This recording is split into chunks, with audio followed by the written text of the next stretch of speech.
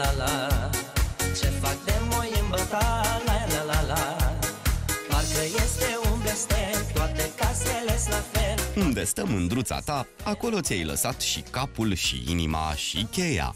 Graba strică treaba, mai ales atunci când ești îndrăgostit lulea. Inevitabil devii și cam uituc. Noroc că există Maria Constantin în viața lui Dacian Varga, care a plecat bucuros de acasă într-o zi cu soare, însă fără cheile din dotare. Unde stă mândruța mea, la la la la. Ce fac de moi în băta, la la la la. Parcă este un blestem, toate casele la fel. Toate Îmbrăcat foarte lejer într-o pereche de pantaloni de culoare gri și un tricou alb, fostul crai de dorobanți a făcut cale întoarsă spre casă, după numai câteva minute de plimbare sub soarele arzător. Deși am putea să ne gândim că dorul de cea care l-așteaptă mereu în prag, Maria Constantin, ar fi fost prea mare și s-a întors să-i mai dea un sărut, lucrurile stau de fapt altfel. Arde inima în mine Am greșit și-mi pare rău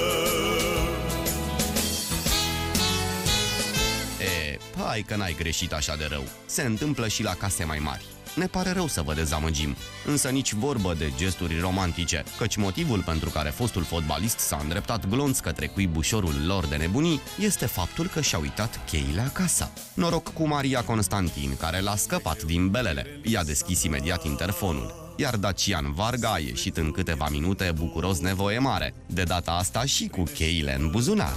Arde inima în mine Am greșit și-mi pare rău